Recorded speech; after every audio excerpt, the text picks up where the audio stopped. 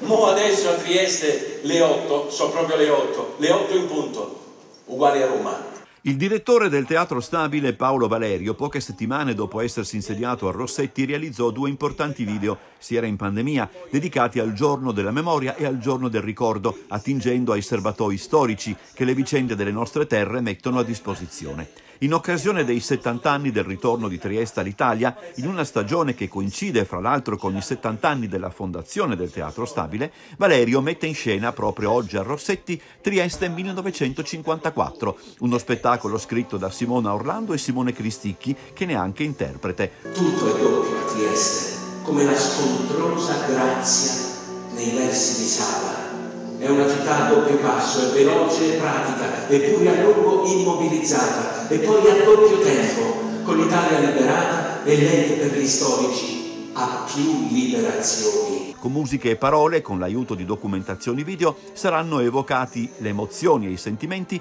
che portarono a quella data fondamentale. Per l'occasione, Cristicchi ripropone il personaggio dell'archivista Persichetti, protagonista di Magazzino 18, lo spettacolo che anni fa conferì una dignità poetica finalmente nazionale al dramma delle foibe e dell'esodo attraverso una lettura esemplare di quei giorni e che con Trieste 1954 trova di fatto una naturale ed ideale chiusura del cerchio.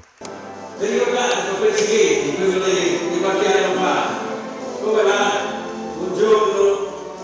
A tutti quanti. Guarda che meraviglia, guarda lei, hanno acceso pure le stelle. Guarda che bello, questo si chiama i poli che amano secchi. La vedete che c'è questa guida Buongiorno signori.